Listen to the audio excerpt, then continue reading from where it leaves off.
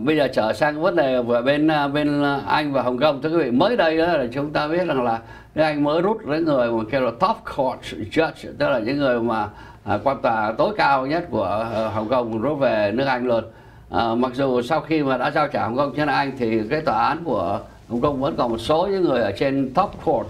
judge tức là những người ở trên tòa án tối cao vẫn còn làm việc. Nhưng mới đây hai vị thẩm phán đã từ chức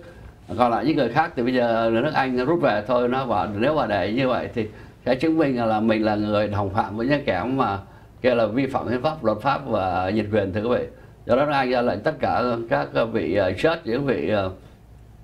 quan toàn người Anh nào vẫn đang làm việc ở trong cái tòa án Hồng Kông phải rút về nước.